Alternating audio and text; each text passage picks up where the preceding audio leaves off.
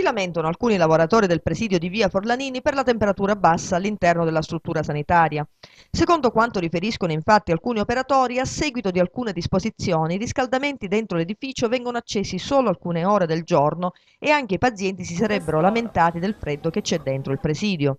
In proposito abbiamo appreso che la ditta che gestisce il servizio è obbligata a mantenere dentro la struttura una temperatura compresa tra i 20 e i 22 gradi, mentre i termosifoni devono restare accesi per 11 ore al giorno.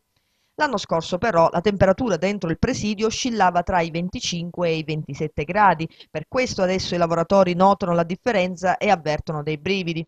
Tuttavia, come ci hanno spiegato fonti accreditate, non è l'azienda sanitaria che stabilisce la temperatura, ma è la legge che fissa i gradi a cui occorre impostare i riscaldamenti.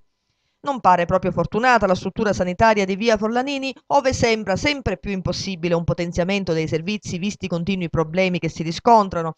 Appena qualche giorno fa il sindaco di Giarre, Angelo Danna, aveva scritto all'ASP per reclamare interventi volti alla eliminazione delle infiltrazioni di acqua piovana dentro i locali del presidio territoriale di assistenza.